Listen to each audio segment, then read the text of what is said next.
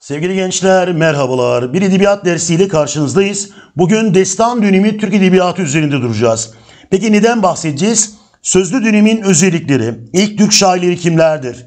Eski Türklerde dini törenler hangileridir? Yine sözlü edebiyat ürünleri diye bildiğimiz koşuk, sagu, sav ve destandan bahsedeceğiz. Özellikle de destanların özellikleri üzerinde duracağız. O zaman vakit kaybetmeden başlıyoruz. Sevgili gençler, sözlü dönemin özellikleriyle başlıyoruz. Bildiğiniz gibi İslamiyet'ten önceki dönem Türk Edebiyatı için biz sözlü dönem ve yazılı dönem olmak üzere iki döneme ayırıyorduk. Bugün yazılı dönemin başlangıç tarihinin 8. yüzyıl olduğunu biliyorsunuz. Ama sözlü dönemin bir başlangıç tarihi olduğunu söyleyemeyiz. Bu dönemde Türklerin en çok inandıkları inanç diye bildiğimiz gök tanrı inancının yanı sıra Uygurlar zamanında Budizm gibi, Manihaizm gibi dinler ve aynı zamanda Türklerin inandıkları şamanizmin inancının yansımalarını görmekteyiz. İşte sözlü mahsuller diye bildiğimiz mahsuller de bu dinsel törenler diye bildiğimiz törenlerde doğmuş. Yani bildiğimiz dini etki altında oluşan bir edebiyat olmuş. Şunu söyleyelim. Bu dinsel törenler nelerdir? Aslında Yu adını verdiğimiz cenaze mirasimleri. Yine Kurban Bayramı'nın yerine kullanılan şölen ya da seylan diye bildiğimiz törenler dinsel törenler olmuştur. Haliyle bu dinsel törenlerde doğan bu edebiyat din dışı alanlarda gelişme göstermiştir. Şunu kesinlikle söylemiyorum. Sözlü dönemde dini şeyler yazılmamıştır demiyorum vardır. Ama genel itibariyle din dışı alanlarda gelişme gösteren bir edebiyat olmuştur. Peki bu dinsel törenlerin yönetmeni, icraatçısı kimlerdir? İşte onlar da Ozan, Kam, Baksı, Şaman ya da oyun adını verdiğimiz şairleri olmuş. Hocam bunlar kimlerdir? Sevgili gençler, sözlü dönem anonim bir edebiyat olduğu için yani şiirleri söyleyenler belli olmadığından dolayı biz bu şiirleri söyleyen isimlere Ozan, Kam, Baksı, Şaman ya da oyun adını veriyoruz. Halbuki aşık edebiyatına geldiğimiz zaman Aşık Karaca olan, Aşık Dertli, Aşık Ruhsati gibi isimler veriyoruz. Yani söyleyeni bellidir. Ama sözlü dönemin de aynı anonim halk edebiyatında olduğu gibi söyleyeninin belli olmadığını biliyoruz. İşte Ozan, Kan, Baksı, Şaman oyun adını verdiğimiz bu isimler Yu adı verdiğimiz cenaze mirasimlerinde, şölen adını verdiğimiz dini bayramlarda, yine av törenleri diye bildiğimiz sığır törenlerinde bir çalgı çaldılar. O çalgının da adı kopuzdur. Bir Türk çalgısı olan, milli bir çalgı olan kopuz eşliğinde bu insanlar şiirler icra ettiler. Ve ortaya sözlü dönemin bir mahsulü ortaya çıktı. Ne çıktı? Koşuklar ortaya çıktı. Sagular, savlar ve destanlar ortaya çıkmış oldu. Ama bunu icra ederlerken de mutlaka saz ile yani kopuz adını verdiğimiz çalgı ile ne yaptılar? İcra etmeye çalıştılar. Bir kez daha tekrarlayalım mı? Sözlü dönem dinsel törenlerde doğmuş ama din dışı törenlerde gelişmiştir. Bu bir. İki. Bu şeyleri söyleyenlere Ozan, Kan, Baksı, Şaman oyun adını verdik. İki. Üç. Törenlerde söylendi. Hangi törenlerde söylendi? Yu mirasimlerinde, şölenlerde ve sığır törenlerinde söylendiğini görmekteyiz. Çalınan çalgının adı kopuz ancak. Bu söyleyenler belli olmadığı için bu edebiyat için anonim bir edebiyat dedik. Geldik yanındaki bilgiye. Ulusal bir edebiyat.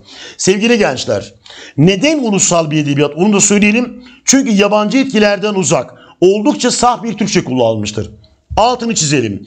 Yazılı edebiyat diye bildiğimiz Orhun yazıtlarına gittiğiniz zaman yabancı etkiler vardır. Ama sözlü ürünler diye bildiğimiz koşuk, sagu, sav ve destan parçalarına ulaştığımız zaman oldukça yalın bir Türkçenin kullandığını da unutmayalım. Peki şiirler diye bildiğimiz neydi şiirler? Koşuk, sagu ve aynı zamanda destanlar. Tabii ki İslamiyet'ten önceki dönemi en iyi yansıtan türün destan olduğunu unutmayalım. Ama o dönemin lirik şiirleri arasında koşuklar var. O dönemin ölümü anlatan ya da e, cenazeyi anlatan şiirler diye bildiğimiz saguların olduğunu görmekteyiz. İşte bu şiirlerde ekseriyetle kullanılan nazım biriminin dörtlük olduğunu unutmayalım. Ölçü hece ölçüdür. Türklerin İslamiyet'ten önceki kullanmış oldukları aruz ölçüsü diye bir şey yoktur. Çünkü sizin aruzla yazdığınız ilk kitap nedir? Tabii ki Kutatgü Birik'tir. İkinci aruzla yazdığınız kitap nedir? Atabetül Hakayık'tır. Peki sizin hece ölçüsüyle ilk örnekler verdiğiniz dönem hangisidir? İşte sözlü dönemdir. Demek ki bu dönemin nazım biriminin dörtlük ölçüsünün hece olduğuna kanaat getirdik. Peki geldik kafiyeye. Yarım kafiye kullanmış. Yani tek ses benzerliğine dayanan kafiye kullanmış. Hocam yarım kafiye halk edebiyatında yok mu? Var gençler.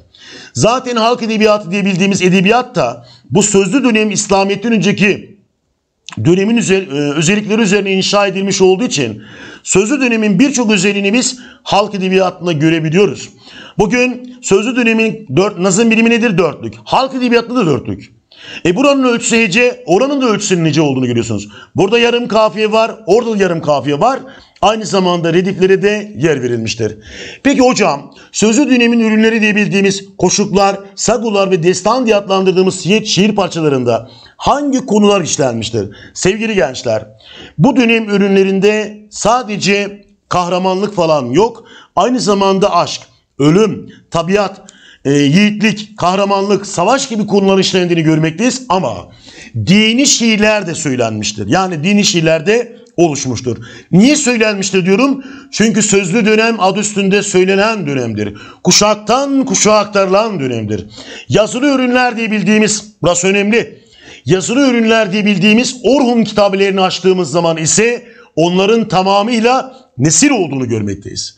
Halbuki sözlü dönemin ürünlerine geldiğimiz zaman bunların şiir metinleri olduğuna şahit oluyoruz. Peki kodlama yapmak gerekirse dinsel törenlerde doğdu bu bir. İki Ozan, Kan, Baksı, Şaman ve oyun adını bildiğimiz kişilerce söylendi etti. İki bu şiirler yuh, şölen veyahut da sığır törenlerinde kopuz eşliğinde söylenmiştir.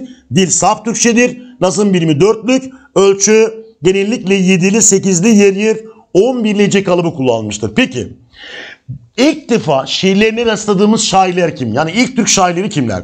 Arkadaşlar Doğu Türkistan'daki Turfan kızlarında yap- yapılan çalışmalarda şiirlerini ve adlarına rastladığımız bu şairlerle ilgili bize ilk bilgileri veren isim Kaşgarlı Mahmud olmuştur. Yani ilk Türk şairlerinin adları nelerdir? Bunlar kimdir? Bunların şiir örnekleri nelerdir gibi bilgileri veren bize ilk isim Kaşgarlı Mahmud ve onun milli sözlüğü diye bildiğimiz Divan-ı Lügat Türk olacaktır. Peki Bugün Kaşgarlı Mahmud'a göre şiir yazdığı söylenen ilk isim Çuçi'dir ama Çuçi'nin şiiri bize gelmediği için bugün biz ilk Türk şairi olaraktan Aprunçur Tigin'i alacağız. Onun dışında Çuçi, Kiki, Kül Tarkan, Asık Tutung, Pradedya Şiri, Kalun Kayşu, Çisiyat Tutung adını bildiğimiz isimler de yine şiirleri bilinen İslamiyet'ten önceki şairleri olmuştur. Sevgili gençler, işte şiir yazan, şiir söyleyen isimler bunlar. Adı belli olanlar bunlar ama genel itibariyle sözlü dönemde şiirleri söyleyenler belli değildir, anonimdir ve o şiirler de halkın ortak mahsulleridir. Sevgili gençler geldik eski Türklerdeki dini törenlere. Bugün İslamiyet'ten önceki döneme gittiğimiz zaman Nevruz adını verdiğimiz bayram dışında yer yeri dini törenler de yapılmıştır. İşte bu törenlerden birisi sığır törenleridir. Özellikle sürek avları diye bildiğimiz av törenleri olarak adlandırdığımız sığır törenleri işte e, başta bulunan hükümdardan izin alınaraktan ava çıkılır. Ava çıkıldıktan sonra getirilen hayvanlar kesilir. Hatta kımız adını verdiğimiz at sütü içilir. Mısır'dan yapılan tarason diye bildiğimiz yine bir içecek de vardır. Sığır törenleri dini boyutu olmayan, sosyal boyutu olan, sadece avdan dönenlerin getirmiş oldukları avların yenilmesi ve içilmesi esasına dayanan bir tören olmuştur. Bugün sığır törenleri yılda birden fazla yapılabilir. Ama gelelim şölen törenlerine yani seylan törenlerine. Yılda bir kez yapılan bu törenler yani dini bayram diye adlandırdığımız bu törenler aslında kurban bayramının ilkel şeklinden başkası değildir. Çünkü şölen adını bildiğimiz törenlerde siz Tanrı'ya yani yaratıcıya kurban sunuyorsunuz. Kendinizi affettirmek, kendinizi bağışlatmak için ne yapıyorsunuz ona? Adaklarda bulunuyorsunuz. İşte bundan dolayı bu bayramlara biz dini bayramlar diyoruz. O dini bayramlarda, bu dini bayramlarda şiir söyleyen Ozan, Kam, Baksı ve Şamanlar da koşukların ortaya çıkmasına vesile olmuşlardır. Sevgili gençler, sığır töreni dini bir tören değildir. Şölen bir dini törendir. Yuh mirasimi bir dini törendir. Neden yuh mirasimi dini bir törendir? Oraya gelmek istiyorum. Ölen bir hükümdarın, ölen bir hanın, ölen, ölen bir ordu komutanının adına düzenlenmiştir bu cenaze mirasimleri. Tabi herkes için cenaze mirasimleri düzenlenmemiştir. Yani sıradan insanlar için bir cenaze mirasimi yok. Hatta kadınlar için bile cenaze mirasiminin olmadığını söyleyebiliriz. Genellikle bir hükümdar, genellikle bir prens, neyse tigin bunların ölümü üzerine yuh mirasimleri düzenlenmiş ve diyelim ki ölen kişi eğer kış ayında ölmüşse mumyalama yöntemiyle onun cenazesi korunmuş, bahar ayında defnedilmiştir. İşte bu yuh mirasimlerinde ağıtlar diye bildiğimiz saguları icra edenler, Kopuz eşliğinde sagular söyleyenler yine kim? Ozan, Kam, Baksı, Şaman oyun adını verdiğimiz kişiler olmuş. Sevgili gençler, sığır törenlerinde biz koşuklar söyledik. Şölen adını verdiğimiz törenlerde koşuklar söyledik. Yu adını verdiğimiz cenaze mirasimlerinde ise sagular söyledik. Üçünde de çalınan çalgının kopuz olduğunu unutmayacağız. Üçünde de şiirleri okuyan isimler kimmiş? Ozan, Kam, Baksı, Şamanmış. Av töreni derse sığır törenine gidin. Dini bayram derse şölen ya da seylana gidin. Ama cenaze mirasimini gördüğümüz zaman yuh mirasimine gitmemiz lazım. Yani yuh törenine gitmemiz gerekiyormuş. Sevgili gençler geldik İslamiyet'ten önceki sözlü edebiyat mahsullerine yani sözlü edebiyatın ürünlerine. Biliyorsunuz bu sözlü edebiyat ürünleri diye bildiğimiz ürünler Ozan, Kan, Baksı, Şaman adını verdiğimiz kişiler tarafından kopuz eşliğinde özellikle sığır törenleri, yine aynı zamanda şölen törenleri ve yuh mirasimlerinde ortaya çıkan ürünler olmuşlardır. Bugün koşun, sagunun, savun hatta destanın söyleyenleri belli değildir. Yani bunlar anonim mahsullerdir. Ha bunları söyleyen isimlere biz ne ad veriyoruz? Ozan, Kam, Baksı ve Şaman isimlerini veriyoruz. Peki İslamiyet'ten önceki dönem içerisinde lirik diyebileceğimiz en önemli şiir türü nedir? Koşuklardır. Sevgili gençler, koşuklar genellikle 7'li ya da 11'li ölçüsüyle söylenmiş olan, yer yer 8'li örnekler de var ve nazım birimi dörtlük olan şiirlerdir. Bu şiirlerde biz aşk gibi, tabiat gibi, kahramanlık, yiğitlik gibi konular işledik. Peki Koşukları söyleyen isimler kimdi? Ozan'dı, Kam'dı, Baksı'ydı, Şaman'dı. Peki bu şeyleri nerede söylediler? Sığır adını verdiğimiz av törenlerinde. Şölen adını verdiğimiz dini bayramlarda ne, ne eşliğinde söylediler? Kopuz eşliğinde söylemiş oldular. Bugün koşuğun karşılığı olaraktan halk edebiyatına geldiğimiz zaman neyi alacaksınız? Koşmayı alacaksınız. Bir cümleyle kodlamak gerekirse İslamiyet'in önceki dönemin en lirik şeyleri koşuklardır. Nazım birimi dörtlük, 7'li, 8'li, 11'li kalıplarıyla söylenmişler.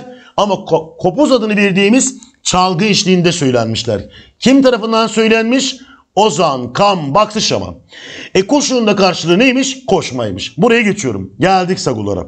Sevgili gençler, İslamiyet'in önceki dönemdeki sagular daha çok hanlar, hükümdarlar ya da işte prenslerin ölümü üzerine söylenmiştir. Burada ölenlerin arkasından söylenen ağıtlardır diyoruz. Doğrudur bir ağıttır. Zaten İslamiyet'ten sonra Sagun'un adının biz ağıt olduğunu hepimiz biliyoruz. Ancak burada söylediğimiz sagular Yu adını verdiğimiz cenaze mirasimlerinde icra edilmiştir. Yani o mirasimlerde söylenmiştir. Peki bu Yu adını verdiğimiz cenaze mirasimlerini icra edenler kimler? Ozan, Kam, Baksı ve Şamanlar. İşte bunlar kopuz eşliğinde ölen kişinin acısını hafifletmek, yine ölen kişinin adını yad etmek için Sagu adını verdiğimiz şiirler söylediler. Bu şiirler bazen sekizli, bazen ise yedileci ölçüsüyle söylenmiştir. Hatırlayalım Türk Edebiyat tarihinde ilk Sagu örneği olaraktan neyi alıyoruz? Özellikle de Divan Lugat Türk'te geçen Alper Tunga'nın Sagu'sunu alıyoruz. Eskitlerin ünlü hükümdarı olan Alper Tunga'nın ölümünden sonra bir sagu söylenmiş. Nedir bu? Alper Tunga öldü mü? Issız acın kaldı mı? Felek üçün aldı mı? Emdi yürek yırtılır diye başlayan sagu Türk Edebiyat tarihinin ilk sagusu olaraktan dikkat çekmekte. Koşuktan koşmayı eşleştirdik. Saguyla ağıt eşleştirdik. Şimdi devam edelim. Sagu'nun bir karşılığı da Mersiye arkadaşlar. Mersiye. Peki Halk edebiyatına ağıt dedik. İslamiyet'ten önceki dönemde sagu dedik ama geldik divan edebiyatına Mersiye ismini kullandık. Dikkat edin. Mersiyelerde özellikle ölen hükümdar. Kanuni Sultan Süleyman'ın ölümü üzerine Kanuni Mersisi yazılmış. Ya da Şehzadelerin ölümü üzerine. Şehzade Mustafa Mersiyesi örneğin. Bazen din ulularının, hocaların ölümü üzerine Mersiyeler söylenmiş.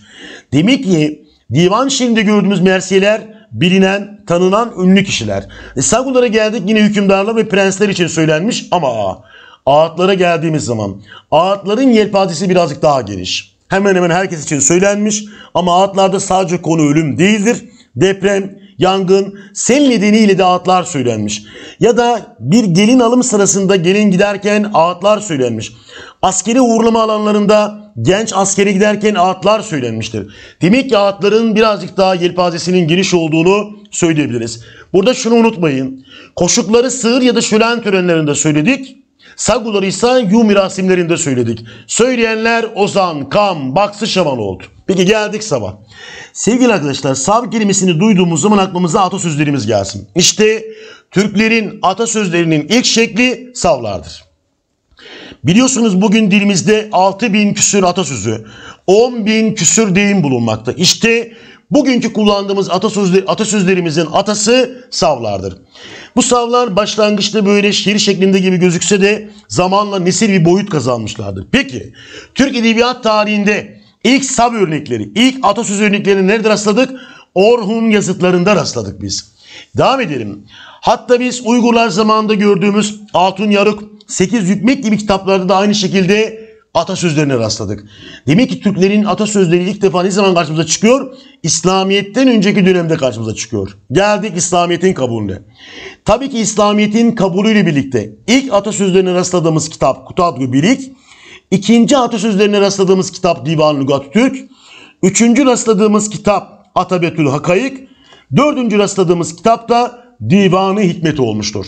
Yani Türklerin Müslüman olduktan sonraki atasözlerine ilk rastladığımız kaynak Kutat Gübirik ama Türk tarihinin en eski atasözlerine rastladığımız kaynak Orhun kitabeleriymiş. Sevgili gençler geldik destanlar ve özelliklerine. Unutmayın İslamiyet'ten önceki dönemi en iyi yansıtan türler destanlar olmuşlardır. Zaten toplumların ilk edebi ürünlerde genellikle destan şeklindedir. Bugün Almanların Nibelungen destanını düşünebilirsiniz. Yunanistan'ın İlyada ve Odise destanlarını düşünebilirsiniz. İranlıların ilk mahsulü mesela Şeyhname destanıdır. İşte bütün dünya toplumlarında olduğu gibi Türk edebiyatının da ilk mahsullerinin destanları olduğunu görmekteyiz. Peki bu destanların genel özellikleri nelerdir onlara bakalım. 1. Destanlar bir toplumu derinden etkileyen savaş, göç, isyan, kıtlık, deprem, yangın ya da bir mizahi olay veyahut da ünlü kişilerin komik durumlara düşmesi gibi konular destanların konusunu oluşturmuş. Destan demek sadece savaş, göç, isyan, kıtlık demek değildir. Toplumu etkileyen bir deprem olayı, toplumu etkileyen bir sel, bir yangın yani doğal afetler de aynı zamanda ne olmuştur? Destanların konusunu meydana getirmiştir. Sevgili gençler, bütün ürünlerde olduğu gibi destanların da anonim olduğunu unutmayacaksınız. Bu bir. Anonim olan ürünler, söyleyeni belli olmayan ürünler kuşaktan kuşağa sözlü olaraktan aktarılmış oldukları için yazılı olmadıklarından dolayı ne olur? Değişikliğe uğrarlar. Peki hocam Destanların kahramanları kimlerdir? Sevgili gençler, bugün destanların kahramanlarının genellikle hanlar, krallar, hakanlar ya da ünlü bir komutan olduğunu söyleyebiliriz. E düşünün Hun Türklerinin hükümdarı kim? Oğuz Kağan. Alın size bir hükümdar. Oğuz Kağan destanı. Baktığımız zaman. E keza yine işte Uygurların göç destanına gittiğimiz zaman hükümdar kim? Bökü Kağan. Demek ki destanların kahramanları sıradan insanlar değil, olağanüstü özelliklere sahip, olağanüstü şekilde dünyaya gelmiş olan kişiler olacaklardır. Oğuz Kağan doğduğunda hatırlayın omuzları böyle aslan omuzları gibiydi. Yine saçları vardı. Aynı zamanda göğüsleri kıllı bir şekilde olağanüstü bir şekilde doğmadı mı? Doğdu. Manas dünyaya geldiğinde olağanüstü şekilde doğdu. Niye doğdu? Avucunda kan, kan pıhtısı diye bildiğimiz pıhtıyla doğmuş oldu. Yani bu destan kahramanları normal sizin bizim gibi doğmazlar. Olağanüstü şekilde doğarlar ve bunlar kesinlikle sıradan insanlar değillerdir. Bu bir. Bunu da söylemiş olalım. Mekana geldiğimiz zaman oldukça geniş bir coğrafya var. Burası önemli ama kesinlikle destanlarda böyle e, coğrafi mekan diye bildiğimiz mekanların tasvirleri yapılmamıştır. Hatta anlatmalık bütün türlerde mekan tasvirleri yoktur. Biz Tanzimat dönemine geldiğimiz zaman roman ve öykü vermeye başladık. İşte orada bizim tabiat tasviri diye bildiğimiz tasvirlere ulaşabilirsiniz. Ama destan, ama mit, efsane, halk hikayesi gibi anlatmalık türlerde biz mekan tasvirlerine rastlamıyoruz. Sevgili gençler bir ayrıntıyı daha söylemeden geçmeyelim. Tabii ki destan kahramanları olağanüstü özelliklere sahip olan e, ünlü ve bilinen kişilerdir. Ama bunların ruhsal durumları değil, genellikle fiziki özellikleri ön plana çıkarılmıştır. Bunu da burada belirtmiş olalım. Geldik manzumdurlar. E koşuklar zaten manzum yani şiir. E sagulara geldik manzum şiir. E destanlarda manzum değil mi? Evet. Yani şiir şeklinde söylenmişlerdir. Yalnız destanlar en uzun anlatmalık türlerdir. Doğru. Destanlarda %90, %85 manzum kısmının olduğunu söyleyebiliriz. Ama işlerinde mesir parçaları da yok değildir. Var. Ama sevgili gençler bu cümleme dikkat edin. Yüzde yüzü bak yüzde yüzü manzum şekilde olan tek bir destan parçamız var. O da Manas destanımızdır. Geriye kalan Oğuz Kağan, Bozkurt, yine Ergenekon, Göç adını bildiğimiz destanlara baktığımız zaman manzum kısımlar tabii ki ağırlıklıdır. Yani %80, %90 ama işlerinde nesil parçaları da vardır. Demek ki destan olup da %100 şiir bi- biçiminde olan tek destanımız hangisiymiş? Manas destanıymış. Şimdi gelelim bir başka noktaya. Olayın geçtiği yer ve zaman belirsizdir. Sevgili gençler. Tabii ki orada biz İslamiyet'ten önceki dönem diyoruz, Hun devleti diyoruz, Uygurlar diyoruz, her neyse. Ama bildiğimiz yer ve zaman olmadığı için, sabit bir yer ve zaman olmadığı için, sabit bir zaman olmadığı için destanların Destanlarda olayın geçtiği yer ve zamanın belirsiz olduğunu unutmayacağız bu bir. Madem ki manzumsa, madem ki şiir şeklindeyse bu destanlar o zaman ait oldukları milletlerin diliyle, ait oldukları milletlerin nazım biçimleri diye bildiğimiz biçimleriyle ve ölçüsüyle söylenmişlerdir. Düşünün İranların ilk destanı nedir? Ya da daha doğrusu ilk ürünleri nedir? Şeyname destanı. E aruzla söylenmiş, aruz ölçüsüyle söylenmiş. Niye? Çünkü İranların milli ölçüsü aruz ölçüsüdür.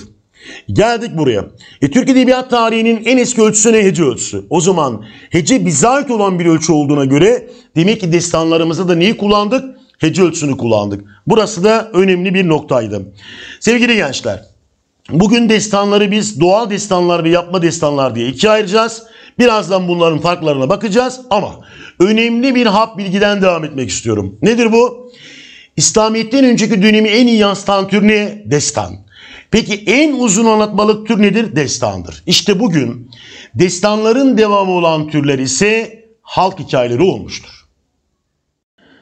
Sevgili gençler, az önce biz destanları doğal ve yapay destanlar diye ikiye ayırmıştık. Peki doğal destan ve yapma destan ne demek? Şu demek. Aslında hap bilgide özetledik. Nedir? Doğal destanların söyleyenleri belli değildir. Yani bunlar nedir? Toplumun ortak malı olan, anonim olan ürünlerdir. Yapay destanlara geldiğimiz zaman ise bu destanların söyleyenlerinin belli olduğunu görüyoruz. Yine toplumda meydana gelen bir olay aktarılıyor ama yapay destanların sonunda biz o destanın sahibinin kim olduğunu söyleyebiliyoruz. Burası önemli bir fark. Yine sözlü olaraktan kuşağa, kuşaktan kuşağa aktarılırlar. Bu birinci fark ama yapma destanlar yazılıdır. Burası da önemli. Yani şimdi şöyle düşünün. İşte Kuvayi Milliye Destanı diye bildiğimiz bir destan var. Kime ait? İşte bildiğiniz gibi Nazım Hikmet'e ait. Yani yazarı belli. Bu adam ne yapmış? Bunu kağıda yazmış. Ama doğal destanlar sözlü ürünleri oldukları için kuşaktan kuşağa aktarılmışlardır.